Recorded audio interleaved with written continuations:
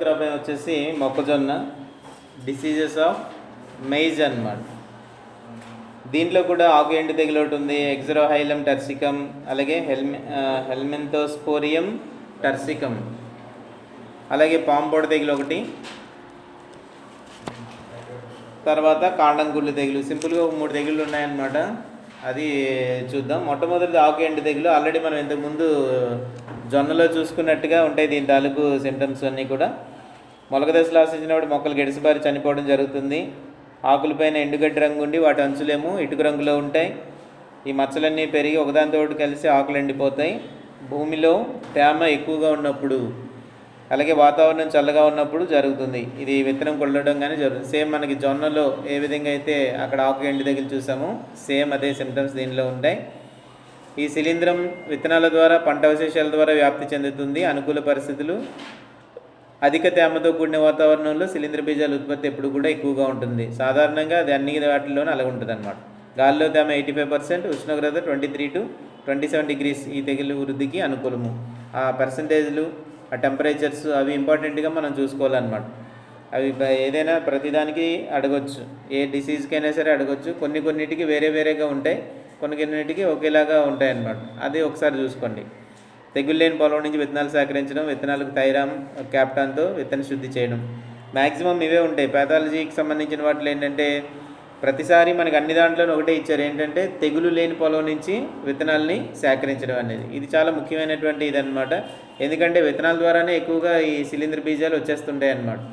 So విత్తనాలు పై కవచానికి అంటుకొని ఈ శిలీంద్ర బీజాలు మ్యాక్సిమం ట్రా ట్రాన్స్పోర్ట్ అయిపోతుంటాయి. కాబట్టి ఆల్రెడీ ఇంతకు ముందు ఒకసారి తెగులు ఎక్కడైనా వచ్చింది అని అంటే కంపల్సరీగా మనం వాటిని వదిలేయడం మంచిది. తెగులు వచ్చిన పొలం నుంచి విత్తనాలు కలెక్ట్ చేయకూడదు. లేకపోతే ఆ విత్తనాలతో పాటు వచ్చేస్తాయి అన్నమాట. సో పంట అవశేషాలు ఏరి కాల్చివేయాలి. తెగులు సోకిన వెంటనే మ్యాంగో జబ్ zero point two five percent మందు పిచికారీ చేయాలి. ఇది ఎగ్జరోహైలం టర్సికం అలాగే హెల్మింతోస్పోరియం టర్సికం అనేటువంటిది. ఆకు ఎండు తెగులు. దీన్నే టర్సికం లీవ్ లీఫ్ బ్లైట్ అని కూడా అంటారు అనమాట సాధారణంగా turcicum leaf blight. Turcicum leaf blight అని కూడా అంటారు. Turcicum leaf blight.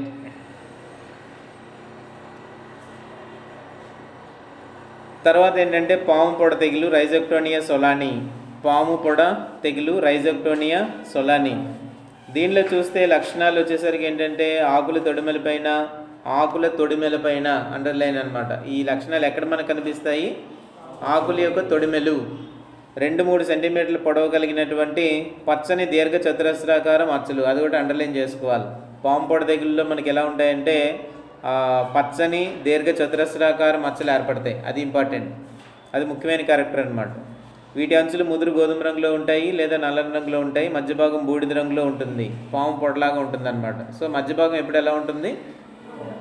బూడిద రంగులో ఉంటుంది మధ్యలో ఉండేటి. అంచులు మాత్రం ఏంటంటే రకరకాల రంగుల్లో ఉంటుంటాయి. ఇక్కడికి వచ్చేసరికి ఎలా ఉందని అంటే ముదురు గోధుమ రంగులో ఉంది లేదా నల్లని రంగు కలిగి ఉంటుంది అది పాంపొడ మచ్చలు.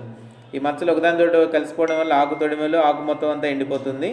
ముదురు మచ్చలపైన నల్లని గుండ్రని స్క్లిరోషియాలు ఏర్పడతాయి. సో స్క్లిరోషియాలు అంటే శిలీంద్ర బీజాలు అక్కడ ఏర్పడతాయి అన్నమాట సో ఆకంతా ఎండిపోవడం అనేది జరుగుతుంది.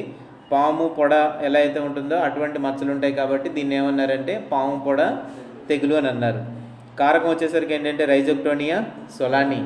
ఇది రైజోక్టోనియా సొలాని అనేది ఎక్కడ ఉంటుంది సాధారణంగా? నేలలో. నేలలో ఉండేటువంటి శిలీంధ్రం రైజోక్టోనియా సాధారణంగా.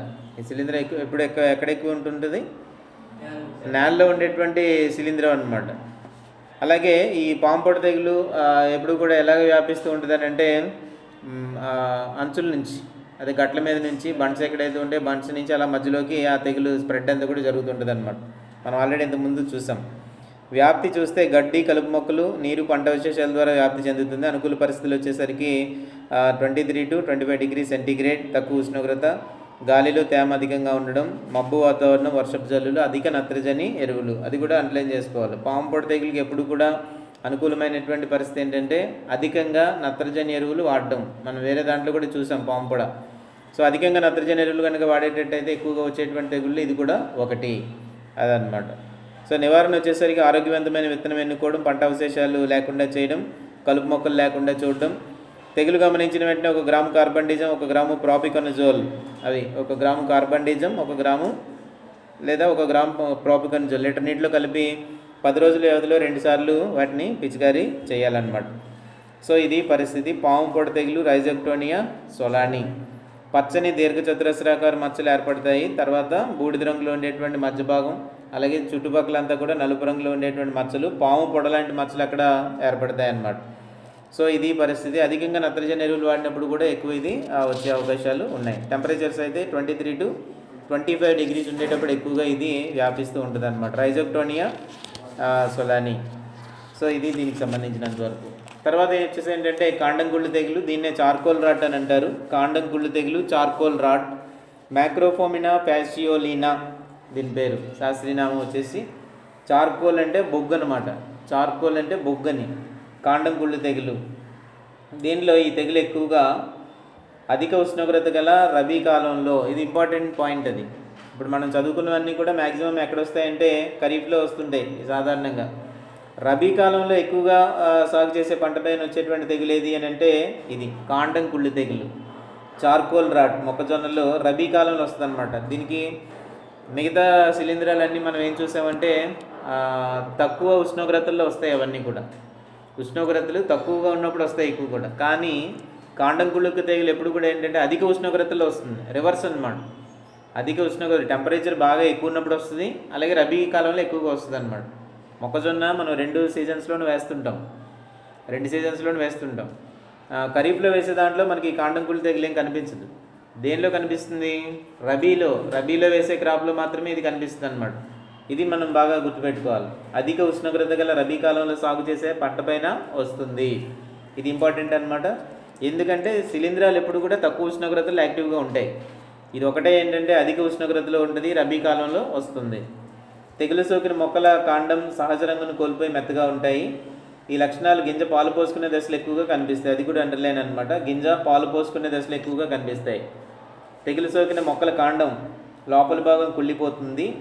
రెండు లేదా మూడు కణుపుల వద్ద విరిగిపోతుంది. ఇంపార్టెంట్ క్యారెక్టర్స్ ఇవి. తెగులు లక్షణాలు అనమాట సో ఎక్కడైతే ఈ తెగులు సోకిందో ఆ కాండం లోపల భాగం అంతా కూడా ఏమవుతుంది? కుళ్ళిపోతుంది.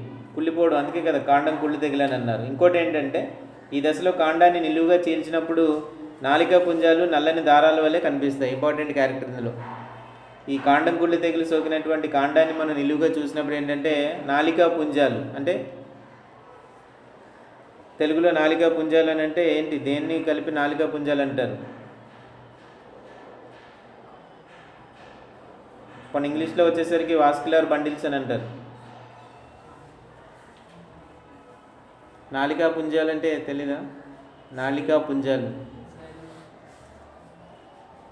నేను అనుకున్నది ఏంటంటే సంథింగ్ ఈ దారు లేదా పోషక కణజాలం వీటిని కలిపి ఒక నాలికా పుంజాలు అని అంటారని అనుకుంటున్నాను. సో వాస్కులర్ బండిల్స్ అని అంటాం అనమాట సో ఈ నాలికా పుంజాలు నల్లని దారాల వల్లే కనిపిస్తాయి. అడగొచ్చు అనమాట నాలికా పుంజాలు నల్లని దారాల వల్లే ఈ తెగుల్లో కనిపిస్తాయి అని చెప్పి. సో ఏ తెగులు అది కాండం కుళ్ళు తెగులు చార్కోల్ రాట్. వాటిపై నల్లని శిలీంద్ర బీజాలు కప్పబడి ఉంటాయి. లోపలంతా కూడా బొగ్గులాగా తయారవుతుంది అనమాట కాండాన్ని కనుక మనం తీసి చూస్తే కనుక ఓపెన్ చేసి చూస్తే లోపలంతా బొగ్గులాగా ఉంటుంది. దారాలు దారాల కింద కనిపిస్తాయి. సో లోపల ఉండే కణజాలం అంతా కూడా ఎలా మారిపోతుందంటే దారాలు దారాలుగా అయిపోద్ది అనమాట అది సింపుల్గా. సో మొక్కజొన్న కాండాన్ని మనం ఇలాగా ఓపెన్ చేసి చూసినప్పుడు లోపలంతా దారాల మాదిరిగా ఉంటుంది. కణజాలం ఏమి మనకు కనిపించదు. కణజాలం అలా మారిపోయి ఉంటుంది అనమాట సో ఇది క్యారెక్టర్ దీంట్లో. దీన్నే మనం ఏమంటామంటే కాండం కుళ్ళు తెగులు అని అంటాం. చార్కోల్ రాట్ అంటాం అనమాట కాండం కుళ్ళు తెగులు మ్యాక్రోఫోమినా ఫ్యాషియోలినా దీని కారకము. ఇవన్నీ కూడా కొంచెం రివర్స్లో ఉంటాయి. ఎలాగంటే అధిక ఉష్ణోగ్రత కలిగినటువంటి టైంలో వస్తుంది. అలాగే రబీ కాలంలో సాగు చేసే మొక్కజొన్న పంట పైన వస్తుంది. ఇది చాలా ఇంపార్టెంట్గా మనం గుర్తుపెట్టుకోవాలి. అనుకూల పరిస్థితులు కొన్ని ఇచ్చారు ఇక్కడ. ఏంటంటే అధికంగా నత్రజని వాడడం పొటాషియం లోపం. ఇది ఇది కూడా అడుగుతున్నారు అనమాట పొటాషియం లోపం వల్ల ఈ మొక్కజొన్న పంటలో సాధారణంగా వచ్చే తెగులు ఏది అని. ఏంటది? కాండం గుళ్ళు తెగులు. పొటాషియం లోపం వల్ల అది కూడా ఒక ఇంపార్టెంట్ బిట్ అనమాట పొటాషియం లోపం వల్ల అంటే ఆ లోపం వల్ల ఈ తెగులుకి అనుకూలమైన పరిస్థితి ఏర్పడి తెగులు సోకుతుంది. అలా అనమాట లేకపోతే ఓన్లీ పొటాషియం లోపం ఉండడం వల్ల రావడం కాదు. ఇప్పుడు ఏదో జింక్ లోపం కానీ పొటాషియం లోపం కానీ వస్తే మనం వాటిని సవరించడానికి ఏదో చేసుకుంటూ ఉంటాం. దీనిలో ఏం జరుగుతుందంటే పొటాషియం కనుక మనం తక్కువగా వాడితే కనుక ఈ తెగులు రావడానికి ఛాన్స్ ఉంది. సో బిట్స్ ఇలా ఉంటాయన్నమాట. పంట మార్పిడి పాటించడం గింజ పాలు పోసుకునే దశలో తేమ ఉండేలాగా చూడడం అధికంగా నత్రజని ఎరువులు వాడకపోవడం పొటాషియం లోపం లేకుండా చూడడం ఇది. సో కాండం కుళ్ళు తెగులు చార్కోల్ రాట్ అని అన్నారు. చార్కోల్ అంటే బొగ్గు అని అర్థం అనమాట కాండాన్ని ఓపెన్ చేసి చూస్తే లోపలంతా బొగ్గులాగా కనపడుతుంది. లోపల ఉండేటువంటి కణజాలం అంతా కూడా దారాల మాదిరిగా ఉంటుంది. ఈ దారాలు ఏంటి అని అంటే నాలికా పుంజాలు. నాలికా పుంజాలు వాటిలో శిలీంద్ర బీజాలు ఉంటాయి. నాలికా పుంజాలు ఆ విధంగా మారిపోయి మొక్క తాలూకు ఆ కణజాలంలో ఉండేటువంటి నాలికా పుంజాలన్నీ కూడా నల్లని దారాల వలె మారిపోతాయి. ఓపెన్ చేస్తే లోపల ఇంకేముంది మొత్తం కుళ్ళిపోయి ఉంటుంది అనమాట దారాలు దారాలుగా ఉంటాయి. ఆ దారాలు ఏ కణజాలం అంటే నాలికా పుంజాలు నాలికా పుంజాల యొక్క కణజాలం సో లోపలంతా నల్లగా ఉంటుంది. ఈ నలుపుగా ఉండేవన్నీ కూడా ఏంటంటే శిలీంద్ర బీజాలే. ఈ నలుపుగా మనకు కనిపించేదంతా కూడా లోపల శిలీంద్ర బీజాలతో కంప్లీట్గా నిండి ఉంటుంది. అధిక ఉష్ణోగ్రతలలో వస్తుంది. సాధారణంగా అలా రాదు కాబట్టి దీన్ని మనం చ- స్పెసిఫిక్గా చదువుకోవాలి. మొక్కజొన్నలో మాత్రమే అధిక ఉష్ణోగ్రతలో ఈ తెగులు వస్తుంది. అలాగే రబీ కాలంలో వస్తుంది. సాధారణంగా ఖరీఫ్లోనే వస్తాయి ఎక్కువగా. కానీ ఇది ఎక్కడ వస్తుందంటే రబీ కాలంలో ఎక్కువగా వస్తుంది. సో అధిక నత్రజని వాడటం పొటాషియం లోపం వచ్చినప్పుడు ఇది మనకి ఎక్కువగా కనిపిస్తుందని గుర్తుపెట్టుకోవాలి. సో నత్రజని తక్కువ వాడాలి. తక్కువ అంటే అవసరమైనంత నత్రజనే వాడాలి. దాంతోపాటుగా పొటాషియం కూడా సమపాలలో వాడాలి. రికమెండేషన్ ఎంత మొక్కజొన్నకి? మొక్కజొన్న పోషక నమూనా ఏదైనా చెప్పండి? ఏదైనా సంథింగ్ పోషక నమూనా ఎరువులు ఎలా వాడాలని?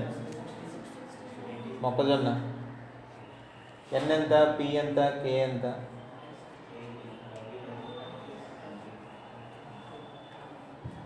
ఏదైనా ఒక ఇదిలో చెప్పాలి.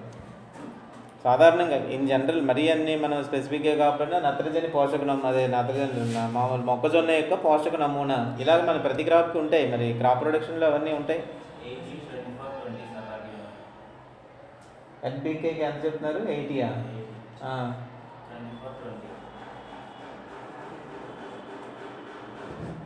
ఇది దేనికి? ఖరీఫ్లోనా రబీలోనా?